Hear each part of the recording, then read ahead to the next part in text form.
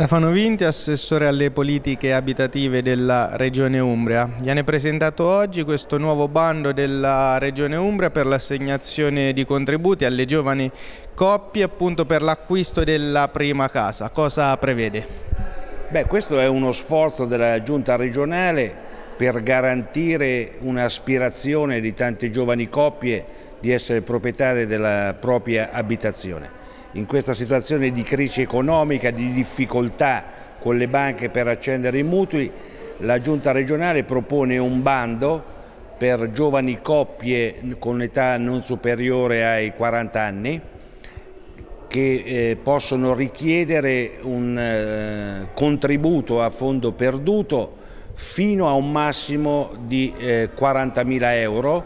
per coloro che individuano e acquistano un appartamento nel centro storico dei due capoluoghi di provincia e perciò di Perugia e di Terni.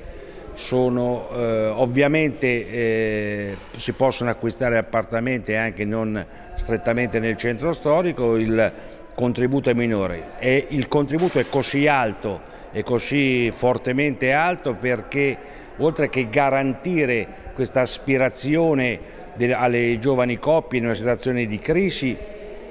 la nostra idea è anche quella di rafforzare la presenza e la residenzialità eh, dei giovani e delle famiglie nei centri storici perché pensiamo che uno dei problemi e forse il problema centrale dei nostri centri storici, a iniziare di quello di Perugia, è il fatto che subiscono un processo di spopolamento. Più famiglie, più servizi, più vivibilità nel centro storico, questa è la nostra politica.